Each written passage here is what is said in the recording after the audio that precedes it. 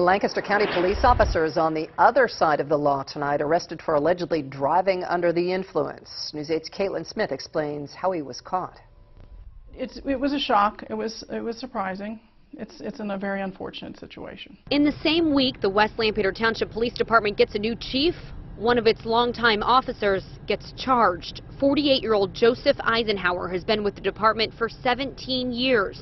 This photo was taken in 2008. I just want the community to know that they're still in good hands. We have an excellent police force, as I'm sure most of them are well aware of. Court papers say Eisenhower had a blood alcohol level of .212, more than double the legal limit when he was driving his personal vehicle along South Prince Street over the Conestoga River last Friday. The documents show he swerved into the left lane, which was closed for construction, hit the Jersey wall and three construction barrels. Court papers show with a flat tire, he continued driving for about two more miles until he stopped in this lot.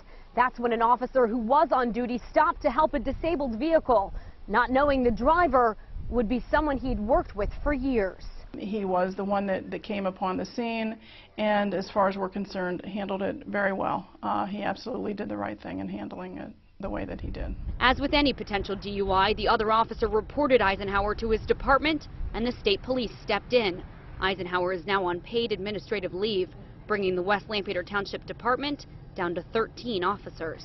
It, it, creates a little bit of an issue. We have to do some juggling with the schedule, and you know that's that's fine. You know, people get sick, people take vacations, so that's typical. But an officer charged with DUI is not typical. The township manager says she doesn't think it's ever happened here before.